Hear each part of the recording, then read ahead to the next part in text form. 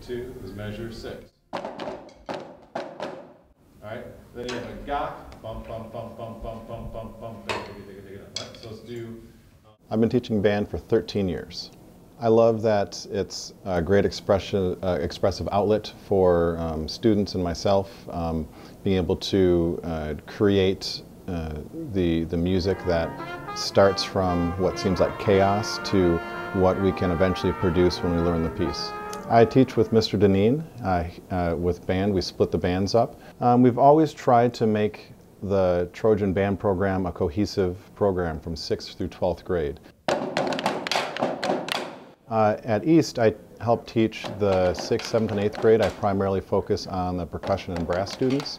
And then I teach at the high school as well. I teach the wind ensemble and the symphony band and one of the jazz bands.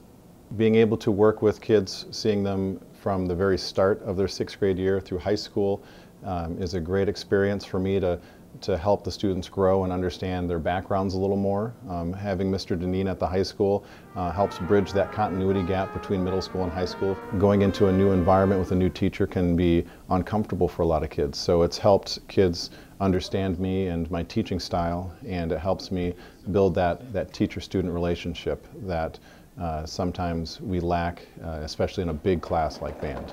This has been Ryan and Will reporting for Trojan TV.